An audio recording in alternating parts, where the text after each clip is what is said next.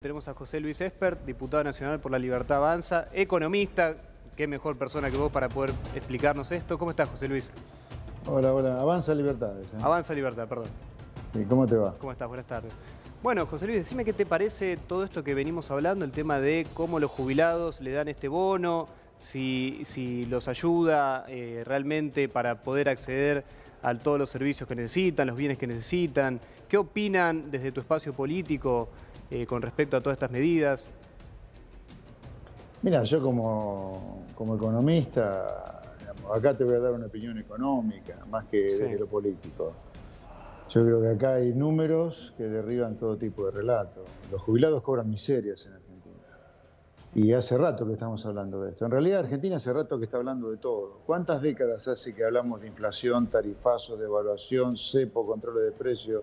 Creo que se nos ha ido la vida. Algunos eh, hablando de las mismas cosas de siempre. Y uno de los temas que lamentablemente siempre se hablan es de las magras jubilaciones que cobran las personas que trabajaron toda su vida, pongámosle como título al principio. Yo te diría, eh, para dar diagnósticos así gordos de brocha gruesa y propuestas de brocha gruesa también. A ver, vos tenés un sistema donde si agarraras al sistema como un 100%, la mitad del sistema son todos regímenes especiales, una cuarta parte solamente es el régimen general y otra cuarta parte para completar el 50% son las moratorias.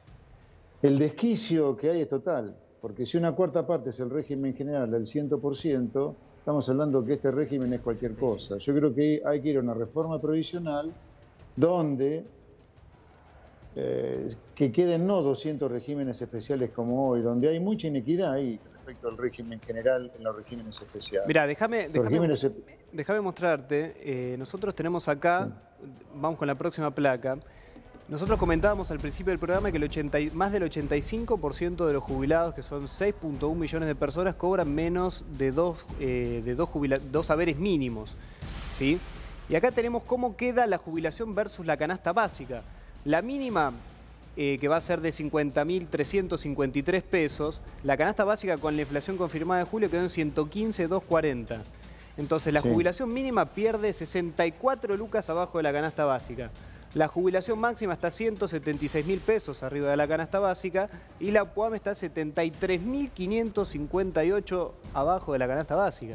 Esto me parece que es un, número que muestra lo que vos decías al principio de, de la comunicación, que los, los, ingresos de los jubilados son miserables hoy con respecto a la canasta. Ahora, ahí yo te diría algunas cositas técnicas, pero me parece importante para dar una discusión bien, bien cristalina, estando completamente de acuerdo que los jubilados es una miseria lo que cobran, particularmente, insisto, los que están dentro del régimen general, o sea, los que aportaron durante toda su vida, los que tienen los más de 30 años de aporte y 65%, 65 años, perdón, en el caso Facundo, ¿puedo hacer una consulta? Sí, Cristian. Me hizo ruido lo que, el dato que tiró. Eh, dijo que el 50%, de, a ver, doctora, ayúdeme si, si a usted no le hizo ruido, 50% de, eh, de los jubilados del sistema previsional está por el régimen especial. No, de lo que se gasta, de lo que se gasta. De lo que se gasta. Bueno, pero del régimen especial, ¿a qué se refiere con el régimen especial? 25 por moratorias y 25 por el régimen general. No, no, no, yo estoy hablando del régimen que tienen especial los militares, los policías, los docentes, este, los que trabajan en la Antártida. Hay cerca de 200 regímenes especiales. Y entonces, ¿a qué se refiere cuando hay que hacer...? Porque usted lo distingue así y parece chocante porque el régimen especial eh, dependiendo de, dónde se mire, no es lo mismo un régimen de los docentes, de una maestra que se tiene que tirar eh, en el jardín infante con chicos de, 4 o 5 grados de, años eh, en, el piso de 60 años, que ya el cuerpo no le da. No, igualmente, es lo mismo un albañil y no es lo mismo un diplomático. No, y no, es lo mismo, no, es lo mismo, el 50%. Y no es lo mismo la jubilación de cuatro palos de Cristina.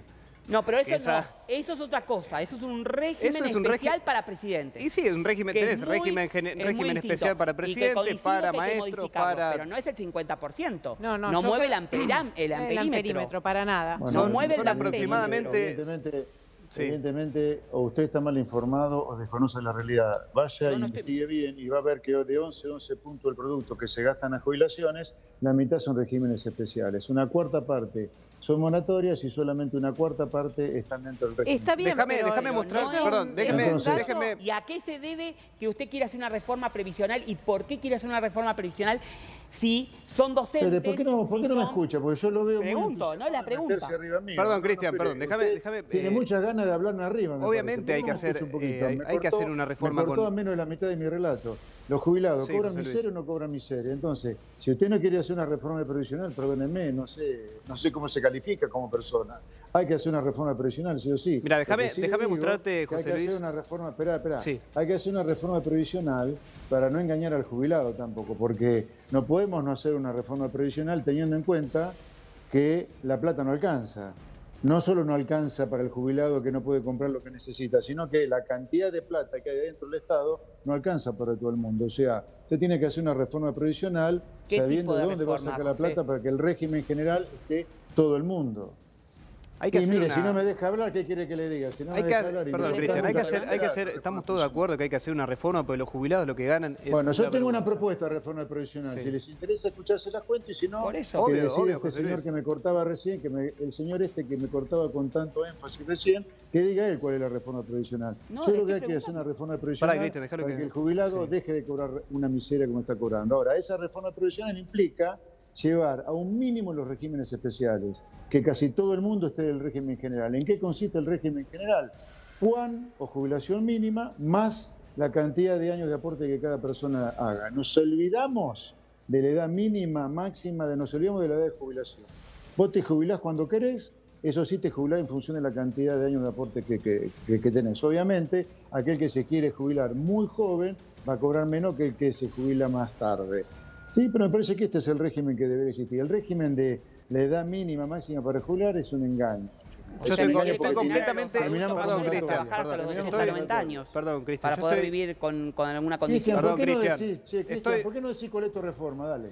No, a ver, el sistema público solidario de reparto y asistido debe continuar. Lo que hay que tomar es el Fondo de Garantía de Sustentabilidad, que hoy está durmiendo bajo de un cajón, y ponerse al servicio de la producción nacional, creando un banco de desarrollo productivo para poder impulsar los mejores saberes de los jubilados y no condenarlos a los 80, 90 años a trabajar hasta nosotros, que se termine la vida para pagar unas chirolas. Vamos, vamos, a hablar de Ningún proyecto de desarrollo no, ningún proyecto de desarrollo con el Fondo de Garantía de Sustentabilidad. El Fondo de Garantía de Sustentabilidad es de los jubilados. bueno, y de los trabajadores, no se olvide. José Luis, ¿vos no, estás de acuerdo? Trabajadores? De los trabajadores que, aportaron al sistema. Cristian, por favor, déjame, Que hoy son jubilados. José Luis, ¿vos estás de acuerdo? Que hoy son jubilados, son así que por eso pasivos. José Luis, ¿vos estás de acuerdo con, con hacer una reforma laboral para poder mejorar el laburo Sí, claro, obviamente. Obviamente que hay que hacer una reforma laboral. A ver, ¿a qué persona de buena fe o con dos dedos de frente puede negar la necesidad de una reforma laboral cuando tenés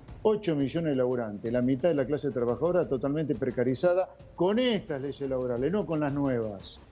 Con estas leyes laborales tenemos la mitad de la población trabajadora trabajando en negro, sin aporte para obra social, sin aporte para jubilación, sin vacaciones y sin aguinaldo. ¿Cómo no va a hacer una reforma laboral? Es urgente la necesidad de una reforma laboral. Es como así, es urgente una reforma del Estado para que ¿Para qué? Para que el jubilado cobre lo que tenga que cobrar y a la calle los ñoqui, chanta, chorro, punteros políticos que hay dentro del Estado. Por supuesto que hay que hacer una reforma del Estado también. ¿Y saben qué? También hay que hacer una reforma del comercio exterior. Porque nosotros, los consumidores de autos, un auto en Argentina nos sale como si fuera un transatlántico. Una remera, una chomba de algodón que afuera se consigue por un dólar, acá cuesta lo que cuesta un BMW. Por supuesto que hay que hacer un montón de reformas. En realidad en Argentina hay que reformar todo para que todo funcione. Para que el jubilado cobre no una miseria como hoy, para que el trabajador cobre lo que tiene que cobrar. Mira, déjame, mostrarte, déjame mostrarte, déjame mostrarte una placa más y, ya te liberamos, José Luis. Vamos, vamos con la próxima. Mira, acá tenemos, por ejemplo, vos hablabas de cuánto el, eh, de acceder a los productos, eh, bueno, obviamente el tema de, las importaciones y demás. Por ejemplo, que hubo, ahora, mira, traigo este dato, por ejemplo, que hubo un tema con, con el café. El kilo de café está a 1.646 mangos. El kilo de queso pategrasa está a 1.959 pesos. Y por ejemplo, tenemos otros productos como la cebolla que aumentó 57,9% eh, intermensual, o sea, el mes pasado a hoy la lechuga el 40 y medio, el aceite de girasol 16,4, el azúcar 30,5. Entonces, los jubilados, por ejemplo, un jubilado con, con un haber mínimo de 50 mil pesos, ¿puede comprar un kilo, puede permitirse el lujo de comprarse un kilo de queso? No, es una locura. Obviamente que no. Ahora, ahí estamos hablando de otro problema que excede el problema del sistema jubilatorio, que es el tema inflación. O sea, cuando vos tenés inflación y del orden del 100%, que es la inflación al cual va la Argentina, obviamente no hay nada que le pueda ganar a una inflación del 100%. Nada, nada que le pueda ganar al 100%. Bueno, por ejemplo, vos hablabas del tema de la Ahora, ropa. ya que estamos... El tema de la ropa. La ropa eh, interanual aumentó un 100,5% en el Gran Buenos Aires. Aumentó más que los alimentos. Muchísimo más, Eh, pero muchísimo Bueno, más. de- ahora después, ahora muchachos, seamos coherentes. La ropa, ¿por qué cuesta cara? Como cuestan un vagón de guita los autos.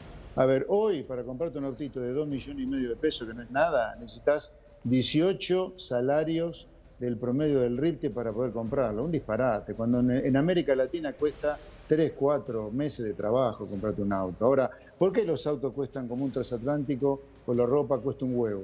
Bueno, por la maldita sustitución de importaciones, el proteccionismo industrial, aquello que nos hemos creído que tiene que ser la punta de lanza del crecimiento. ¿A dónde nos ha llevado eso? En parte el país miserable que tenemos. Ahora, Y también la carga, la carga impositiva. Sigue, José Por Luis. supuesto, por supuesto. Ahora, ahora se viene el ajuste de tarifas.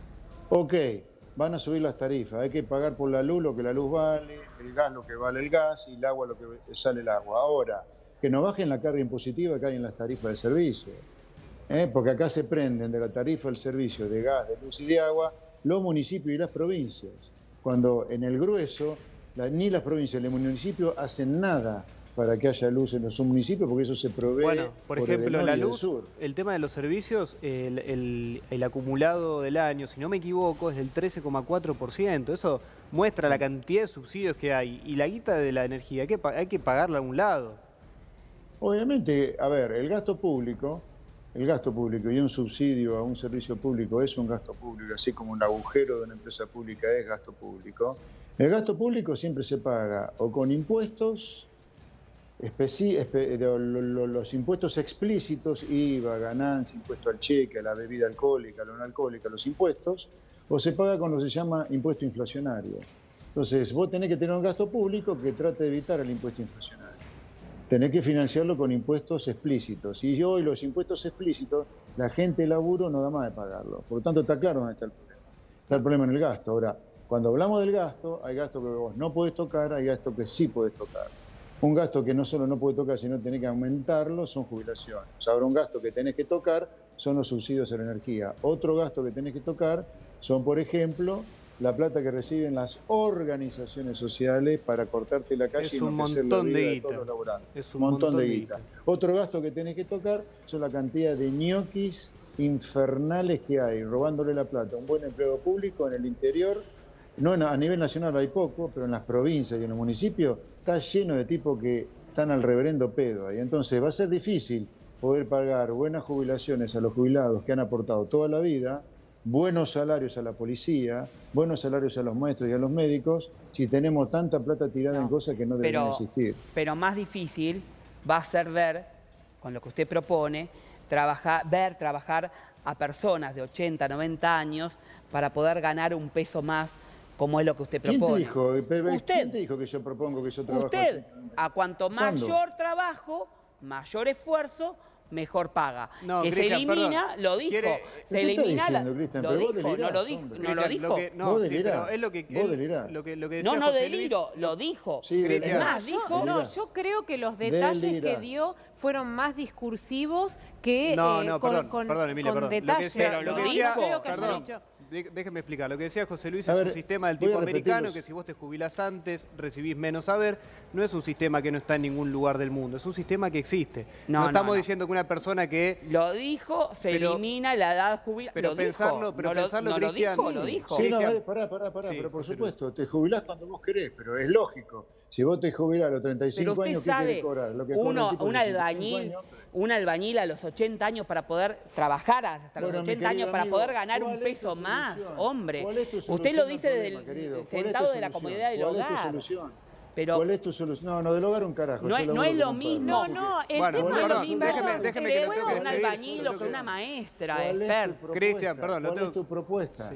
Cristian, querido, ¿cuál es tu propuesta? ¿Cuál es mi propuesta? Ya la dije. conciso. El sistema previsional argentino tiene que estar igual como está, con la salvedad que se tiene que poner al servicio Igual, de o sea, vos la producción nacional el Fondo de Garantía de Sustentabilidad para pagar esto. Sí, Cristian, pero el fondo, el fondo de garantía de sustentabilidad, usarlo es como No, eh, eh, prender eh, fuego. usarlo no. Es invertirlo en un banco No. de desarrollo productivo. Sí, pero no, pero perdón, Cristian, usar el Sí fondo de garantía sustentabilidad. No, Claro, ya está sí, invertido. pero no, no, no. Pero está No invertido está en- invertido en acciones, en bonos. Estoy diciendo gobierno que nacional- del gobierno invertir para la nacional. producción nacional. acciones, es decir, para la compra de maquinarias que- argentinas.